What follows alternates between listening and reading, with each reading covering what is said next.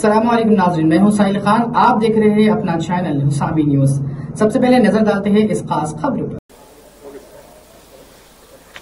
आज एक बड़ा खुशी और तारीखी दिन है हमारी पॉलिटिकल पार्टी के लिए कि बिहार प्रदेश में एमआईएम पार्टी को बिहार की जनता ने न सिर्फ़ अपने वोटों से बल्कि अपनी मोहब्बतों से इतना नवाजा कि मेरे पास अल्फाज नहीं है कि कैसे मैं उनका शुक्रिया अदा कर सकूँ।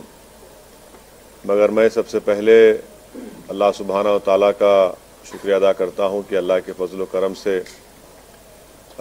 मजलिस इतिहादमसलमिन को एक तारीखी कामयाबी बिहार में मिली है। मैं साथ ही साथ जो हमारे बिहार प्रदेश के अध्यक्ष हैं, जनाब अख्तर ईमान साहब का और जनरल सेक्रेटरी आफ्ताब साहब का आदिल साहब का और तमाम बिहार के मेरे पार्टी के जिम्मेदारों का शुक्रिया अदा करता हूँ कि उनकी बड़ी सख्त जदोजहद और मेहनत रही। और उसी मेहनत का नतीजा रहा कि आज हमको एक बहुत बड़ी कामयाबी हासिल हुई। साथ ही साथ में हमारे जो एम पार्टी के ऑब्जर्वर जनाब माजिद साहब, जो हैदराबाद के सबका मेयर रहे हैं, जो पिछले पाँच साल से रेगुलर बिहार को जा रहे हैं और अख्तर ईमान साहब के साथ उन्होंने पार्टी को मज़बूत किया है। मैं उनका और जो हैदराबाद से, महाराष्ट्र से इम्तियाज़ जलील साहब आए, डॉक्टर गफ्फार खादरी, सैयद मोइन, फिरोज़ लाला और उत्तर प्रदेश से हमारे शौकत साहब, ये तमाम लोग वहाँ पर आकर कई दिन, बीस दिन कैंप किए, मेहनत किए, इनका भी मैं शुक्रगुजार हूँ। मैं इस मौके पर, जनाब कुशवाहा साहब का बहन मायावती का देवेंद्र यादव साहब का, राजभर साहब का भी शुक्रिया अदा करता हूँ कि हम लोग उनके साथ ग्रैंड डेमोक्रेटिक सेकुलर फ्रंट बनाए, हमने साथ इलेक्शन लड़ा। और मैं सीमांचल की जनता का दिल की गहराइयों से उनका शुक्रिया अदा करता हूँ कि उन्होंने मजलिस के उम्मीदवारों को कामयाब किया। और मैं उनको तयखुन देना चाहता हूँ कि हमें, हमने हमेशा इस बात को कहा है कि जब हमने बिहार में अपनी सियासी सफ़र का आगाज़ किया तो हम इस बात का वादा किए थे और आज भी हम ये कह रहे हैं कि हम सीमांचल से इंसाफ कराएँगे। सीमांचल की सरजमीन पर बसने वालों से पिछले 60 साल से इंसाफ नहीं हुआ। वो न सिर्फ़ बिहार, बल्कि पूरे भारत का सबसे पिछड़ा इलाका है।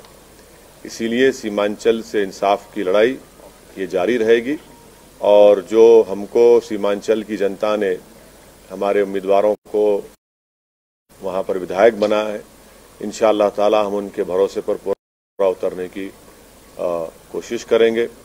जो वहाँ के मसाइल हैं जो वहाँ का बैकवर्डनेस है जो वहाँ पर बाढ़ आने के बाद जो ज़मीन कटती है वहाँ पर स्कूल डिग्री कॉलेजेस नहीं है अस्पताल नहीं है चीज़ें हैं जिस पर हमको हमारे पूरे विधायक मिलकर इस पर पूरी कोशिश करेंगे और जो भरोसा और अतमाद हम पर किया गया है हम इन ताला उसकी पूरी मेहनत करेंगे और जो हमने आवाम से वादे किए थे उसको पूरा करने की हम आ, पूरी कोशिश करेंगे।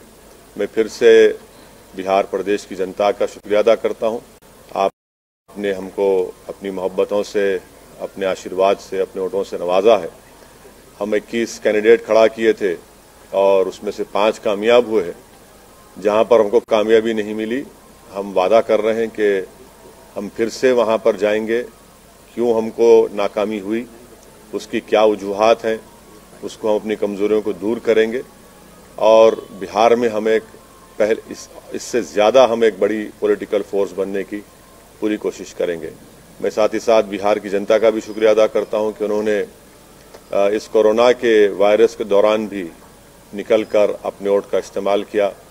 ये बड़ा ही उनका बेबाकी का काम था और बड़ा ही बहादुरी से उन्होंने निकलकर भारत की जमहूरियत को बिहार के जमहूरियत को इलेक्शन में हिस्सा लिया। मैं उनका भी शुक्रिया अदा करता हूँ। सर ये जिससे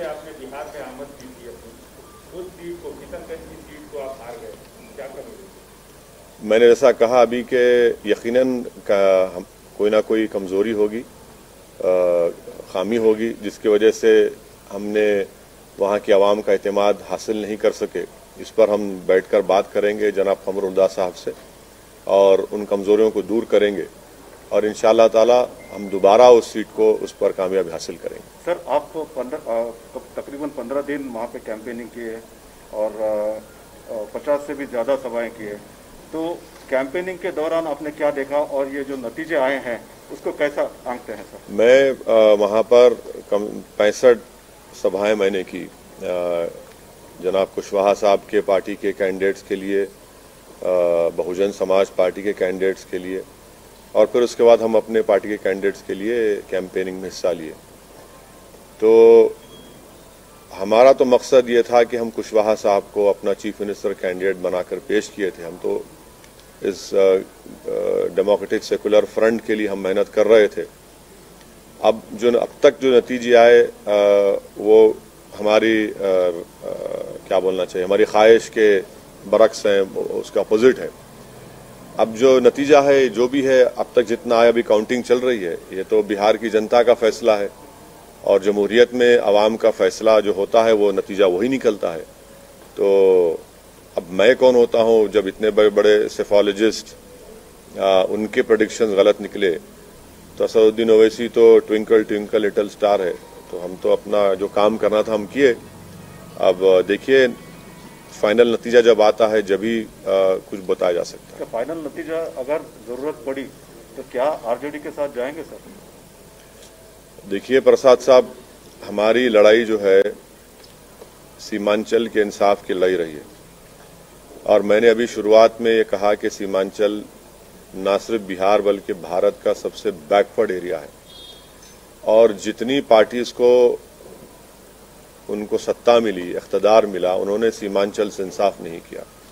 मिसाल के तौर पर जितने एजुकेशन इंस्टीट्यूट्स हैं, वो या तो पटना, नालंदा या फिर दरभंगा के अतराफ में बनाए गए। एम्स लाया गया तो सीमांचल को उससे महरूम कर दिया गया। एक गवर्नमेंट का अस्पताल सीमांचल में नहीं है। हर साल बाढ़ की वजह से हज़ारों एकड़ ज़मीन कट जाती है, फ़सल बर्बाद हो जाती है और फ़सल का उनको मुआवजा जो तीन डिसमल ज़मीन मिलना या उसका मुआवजा मिलना वो नहीं मिलता। सबसे ज़्यादा पलायन वहाँ के नौजवान दिल्ली, हरियाणा, पंजाब जाकर वहाँ के खेतों में काम करते हैं।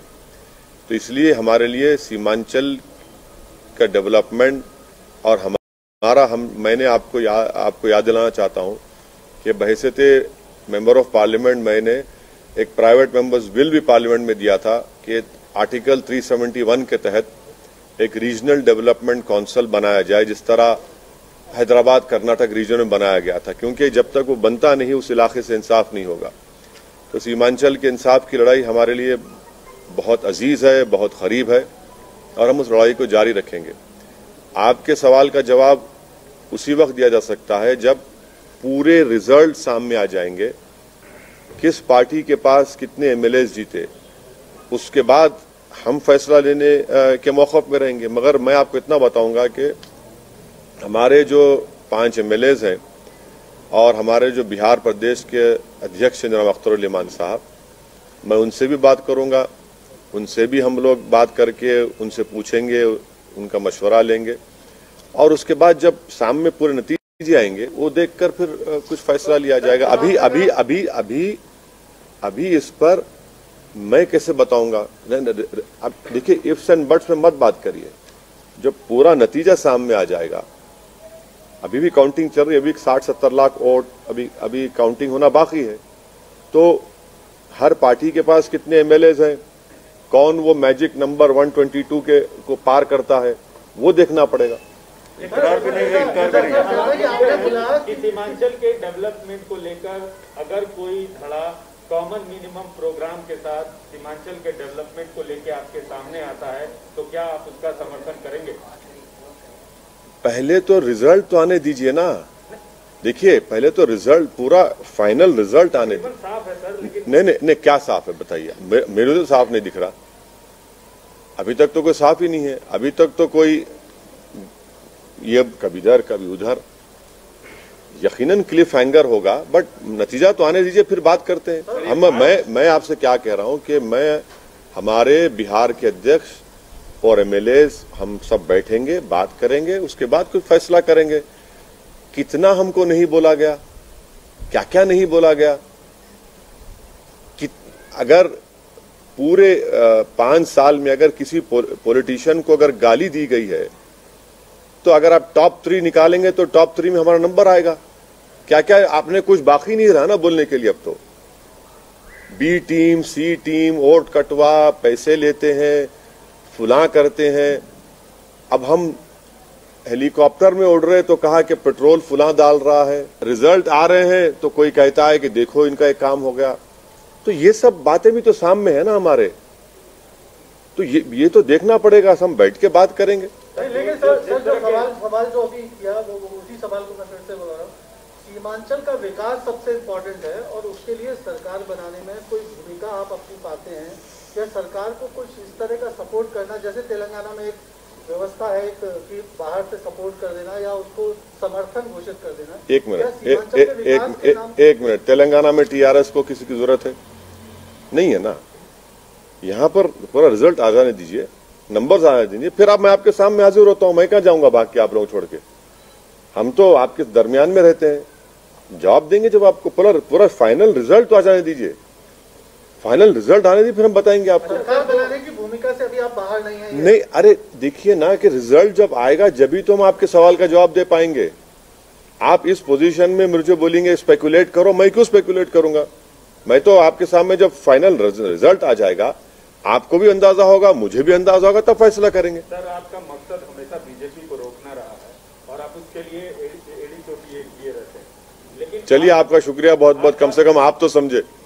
नहीं, आप समझ गए बहुत बड़ी बात है। सवाल पूरा सुन आपने चुनाव लड़ा पाँच सीटें जीते आप। जहाँ आरजेडी जीतती रही है। आपको नहीं लगता कि बीजेपी को रोकने के लिए आप उनके साथ हाथ मिला सकते थे? एक तरह से जिन ताकतों को रोकने के लिए आप काम करते रहे उन्हीं को इनडायरेक्टली मदद कर दिया आपने। अभी वही बोला जा रहा है सर। आपके साथ इंडिपेंडेंट एमएलए को लेके बनाने की बात हो रही है।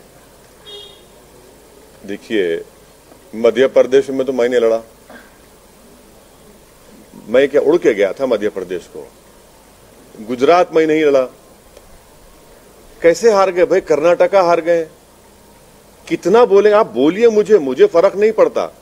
नहीं नहीं नहीं मैंने भाई सुनिए देखिए, आप अगर अगर कोई ये समझ रहा है कि भारत में सीमांचल का वोटर किसी का गुलाम है या नौकर है तो हम उसके जहन के जालों को साफ़ कर दिए अभी। वोटर सुप्रीम है।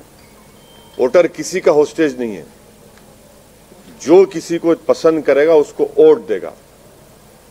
अगर कोई ये कहता है कि तुम क्यों लड़े अरे मैं लड़ूँगा भाई। बंगाल लड़ूँगा यूपी लड़ूँगा भारत का हर इलेक्शन लड़ूँगा। मुझे क्या पूछना पड़ेगा किसी से लड़, मैं लड़ूं या ना लड़ूं? मैं इसलिए मैं इसलिए लड़ूँगा क्योंकि मुझे डेमोक्रेसी में भरोसा है। मैं इसलिए लड़ता हूँ ताकि वो जो वॉइसलेस लोग हैं जिनको डरा कर कुचल कर उनका काम नहीं किया जाता, उनकी आवाज़ बन के उनकी लीडरशिप को पैदा किया जाए। तो ये तो खुश होना चाहिए ना कि भाई हम भारत की जमहूरियत में डेमोक्रेसी में कॉन्फिडेंस को बढ़ा रहे हैं। क्यों लड़े? कैसे लड़ना? क्या भाई, मैं क्या, मैं किसी के मातहत काम नहीं करता, मेरी पार्टी है। मुझे अख्तियार है अपनी पार्टी को फैलाने का। पाँच साल पहले हम छह सीट पर लड़े थे। एक पे भी कामयाबी नहीं मिली, तब किसका नुकसान हुआ, किसका फ़ायदा हुआ? झारखंड में लड़ा, एक सीट नहीं जीत पाया, किसका नुकसान, किसका फ़ायदा हुआ? महाराष्ट्र हम लड़े, आप ही जाकर बैठ गए शिवसेना के गोद में। हम तो नहीं बैठे ना। तो ये ये जो अपने आप को, ये समझते हैं कि बस हम ही ज़िंदा रखें सेकुलरिज्म को, हम उनसे कहना चाह रहे हैं कि भाई साहब, बस करिए। आप नहीं ज़िंदा रखें सेकुलरिज्म को। आप खाली टीवी स्टूडियो में बैठकर ज्ञान देते हैं। ज़मीन पर आप नहीं जाते आप। इनका सिर्फ़ एक आर्टिकल लिख दो अखबार में टीवी पर जाकर ज्ञान दे दो और ओवैसी को गाली दे दो। दो गाली आप मुझे कोई फ़र्क नहीं पड़ता उससे। तो आप कांग्रेस के बारे में नहीं मैं सबके बारे में कह रहा हूँ। मैं सब मैं स, मैं उन तमाम लोगों मैं उन तमाम लोगों के बारे में कह रहा हूँ जो ये समझते हैं कि एमआईएम पार्टी को इलेक्शन नहीं लड़ना चाहिए। मैं उन सबको जवाब दे रहा हूँ। बहुजन समाज पार्टी और उपेंद्र कुशवाहा के साथ मिलकर चुनाव लड़े दलित वोट और कुशवाहा वोट या पिछड़ा वर्ग का वोट इसने आपकी जीत में कितना अहम रोल अदा मैंने सुनिए सुनिए पहले नंबर वन के सवाल आपके सवाल मैं तो शुक्रिया अदा किया ना। मैं तो जनाब कुशवाहा साहब का बहन मायावती का जनाब राजभर साहब का देवेंद्र यादव साहब का शुक्रिया अदा किया बिहार की जनता के साथ। मैं तो शुक्रिया अदा किया उनको। हम तो सब साथ मिलकर लड़े। यकीनन वो, वो उनको भी क्रेडिट जाता है। लेकिन आपका वोट उधर ट्रांसफ़र नहीं हुआ। बहुजन समाज पार्टी सिर्फ़ एक ही सीट पे रही और उपेंद्र कुशवाहा देखिए देखिए इलेक्शन है। इलेक्शन है। हम तो अपनी तरफ़ से पूरी मेहनत किए जस्तजू किए। बल्कि बहुजन समाज पार्टी के कई ऐसे कैंडिडेट थे जो हमको कह रहे थे कि सर आप और मुखामत पर आइए। हम नहीं जा सके क्योंकि वो शेड्यूल इतना टाइट था। मगर हम तो कोशिश किए, इखलास के साथ कोशिश किए, पूरी नेक नियति के साथ हम कोशिश किए। 2022 वो में भी वोट कोशिश ट्रांसफ़र करेंगे नहीं हुआ उत्तर प्रदेश में हाँ? बिल्कुल। के लिए 2022 2022 में उत्तर प्रदेश में एमआईएम दोबारा चुनाव लड़ेगी। सुनिए सुनिए सुनिए सुनिए सुनिए। दोबारा चुनाव लड़ेगी। पहले जो कमजोरियाँ थी, हमने थोड़ा उसको दूर किया है। बड़ी ताकत के साथ लड़ेगी। किसके साथ जाएँगे नहीं जाएँगे वो वक्त ही बताएगा। मगर हम तो लड़ेंगे। बंगाल सर बंगाल। हाँ बंगाल में क्यों क्यों? अरे भाई हर जगह लड़ना चाहिए। एक पॉलिटिकल पार्टी हम के एनजीओ है कि सेमिनार करा के पेपर प्रेजेंट कर दें। पॉलिटिकल पार्टी है लड़ेंगे क्यों नहीं लड़ेंगे? लड़ना चाहिए। भाई भारत की जमहूरियत को मज़बूत करना है और भारत की जमहूरियत में जो सेक्शन की आवाज़ नहीं है उस आवाज़ को पहुंचाना ज़रूरी है। तो उसमें क्या बुरी बात है? लड़ना चाहिए। जीतेंगे हारेंगे वो तो वाह, जनता तय करेगी अल्लाह बताएगा। बस लड़ना तो ज़रूरी है ना। सर आप नहीं आप चाहते हैं कि ये ये गठबंधन जो बिहार में हुआ और सक्सेसफुल रहा आपके लिए तो फ़ायदेमंद रहा। यूपी में भी वही आगे देखिए देखिए देखिए सही बात तो ये है कि हमारा पहला अलायंस हुआ देवेंद्र यादव साहब की पार्टी से समाजवादी जनता दल से। और उससे पहले कुशवाहा साहब बीएसपी से अलायंस कर चुके थे राजभर साहब के साथ। हम लोग बाद में गए। तो ये बिहार के इलेक्शन की हद तक हुआ है। यूपी में क्या होगा? मैं अभी कैसा बताऊँगा आपको? मैं भी कैसा बताऊँगा आपको? सर तेलंगाना में टीआरएस पार्टी बहुत बुरी तरह रही है। कहीं खतरे तो नहीं है सर आने वाले दिनों में। बुरी तरह कहाँ हारी? कहाँ बुरी तरह? हज़ार वोट से हारे। ग्यारह सौ वोट से हारे। रेज, रेज, रेजर थिन था वो। कोई वो कोई बात नहीं। बीजेपी तो दस्तक नहीं दे रही सर हाँ? बीजेपी हाँ? बीजेपी तो दस्तक नहीं दे रही बहुत लोग दस्तक देते। दस्तक देने वाले दस्तक देते। दस्तक देने से क्या होता जब घनगरज होंगी तो दस्तक बुझ जाती ना उसमें।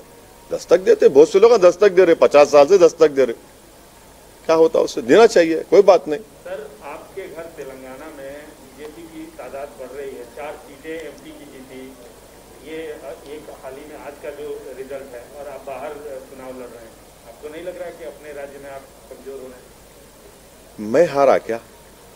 नहीं, तो नहीं नहीं मैं मैं हारा क्या? नहीं आपका टीवी नाइन की बहुत ही बदतमीजी की न्यूज़ थी आपकी। टीवी नाइन को अगर चमचागिरी करना रूलिंग पार्टी की तो चमचागिरी करो। मगर हर बार हमारे कंधे पे रख के अपनी मुनाफिकत दिखाने के लिए मत करो। टीवी नाइन को ज़िम्मेदारी से न्यूज़ डालना चाहिए। किसी का गुस्सा आप मेरे पे क्यों निकाल रहे भाई? हारे आप जीते आप नहीं आप क्या करें? अरे मेरा मैं, मैं मेरे से क्या ताल्लुक भाई? नहीं ओवैसी बिहार में चले गए। आपको क्या मालूम मैं क्या कर क्या रहा कहने करा? तो ये जो है ना ये बस तलवे चाटने की जो पॉलिसी है वो मत करो प्लीज़ सवाल करो बोल तो मैं। मेरा ताल्लुक भी नहीं उससे। मेरे को मालूम तक भी नहीं। आप न्यूज़ चला दिए। क्या बोलते नहीं गवर्नमेंट के पास केसीआर के पास हमारा नंबर बढ़ जाना।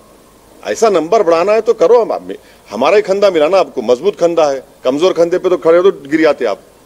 No problem sir Adhir Ranjan Chowdhury कहता है कि आपको यूज़ करके बीजेपी हम आ रहे बंगाल को आ रहे बंगाल को आ रहे आ रहे अब। बराबर आएँगे बंगाल को। मुर्शिदाबाद भी जाएँगे मालदा भी जाएँगे दिनाजपुर जाएँगे सब जगह जाएँगे। अधीर रंजन चौधरी क्या ठेका लेके बैठे हुए मुसलमानों का? अधीर रंजन चौधरी को बताना चाहिए कि अपनी कॉन्स्टिट्यूंसी में मुसलमान इतने बुरे हाल में क्यों है? अधीर रंजन चौधरी को बताना चाहिए कि उन्होंने मुसलमानों के लिए क्या किया। अधीर रंजन चौधरी, तुम जानो, जान लो इस बात को कि वोट हमारा राष्ट्र तुम्हारा नहीं चलने वाला है अभी। हर हर, आप हार रहे। कल तक जब पूरे एग्जिट पोल्स आ रहे थे तो मिठाइयाँ खा रहे थे आप। फूल बांट रहे थे, आसमान पे उड़ रहे थे, पटाखे फोड़ रहे थे। वो आ गए आ गए आ गए। अरे सत्तर सीट दी है ना। क्या किया आपने? वो तो बता दो।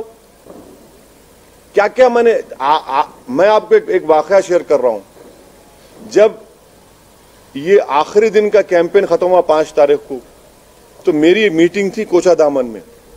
मैं कोचा दामन से मीटिंग खत्म करके जा रहा था तो इस हमारी विक्ट्री में बता रहा हूँ आपको बहुत बड़ा रोल महिलाओं का रहा मैं अपनी लाइफ में इतनी पब्लिक मीटिंग्स किया हूँ मगर एक एक पब्लिक मीटिंग में इतनी बड़ी तादाद में महिला आते थे कि गैर मामूली, और यकीनन मैं कह रहा हूँ कि उनका बड़ा बहुत बड़ा रोल रहा। जब मैं लास्ट मीटिंग करके जा रहा था तो मेरे को उन महिलाओं रोका कि सेल्फी लेना है। बोले, बराबर लीजिए। और मैं भी चाह रहा था कि सेल्फी लिए सेल्फी लिए। उसके बाद एक एक महिला ने मुझसे कहा कि, वैसी, तुम्हारे बारे में बहुत अनाप शनाप बोल रहे हैं ये लोग। इनको सात तारीख को हम बताएँगे। और तुम देखना जब वो डब्बा खुलेगा इसका जवाब हम दे देंगे। देख लीजिए आप। बागडोरा एयरपोर्ट पर मैं गया मैं, मेरे को रोककर वहाँ पे महिलाओं ने कहा कि हम दिल्ली जा रहे हैं मगर वापिस आएँगे। बड़ा अनाप शाप तुम्हारे बारे में कहा है। आप बोलते जाइए, मेरे को फ़र्क पड़ने वाला नहीं है। मैं रुकने वाला नहीं हूँ, मैं पहले भी कह चुका हूँ कि आप जितना बोल सकते बोलिए। मैं आपका जवाब नहीं दूँगा, जनता जवाब देगी खुदरत जवाब देगी। मेरी मौत मेरे को रोक सकती। ये क्या बात है? आप जो यानी कोई बात है? बोले जा रहे हैं जो मुँह में आया बोलते हैं। तो कुछ तो रुकना चाहिए ना। तो ये गठबंधन का जो फॉर्मूला है बिहार में बहुत अच्छा काम किया। बंगाल में भी इस तरह की संभावनाएँ तलाशने के लिए क्या आप कोशिश करेंगे? और कौन कौन से ऐसे पार्टी आप समझते हैं जो आपकी विचारधारा से मेल खाती हैं और जिनसे कुछ तिवारी साहब हमको तो कोई हाथ लगाने तैयार नहीं है ना। ऐसा लगता है कि इसको हाथ लगाओ तो 550 केवी का शॉट लग जाएगा। हम करेंगे मेहनत करेंगे कोशिश करेंगे हमारा काम कोशिश करना है लड़ना हमारा काम है। देखेंगे आगे क्या होता है। गठबंधन की कोशिश अरे भाई इलेक्शन जीतने के लिए जो भी डेमोक्रेटिक उसूल हैं उसको अपनाएँगे। ओके सर शुक्रिया। Thank you very much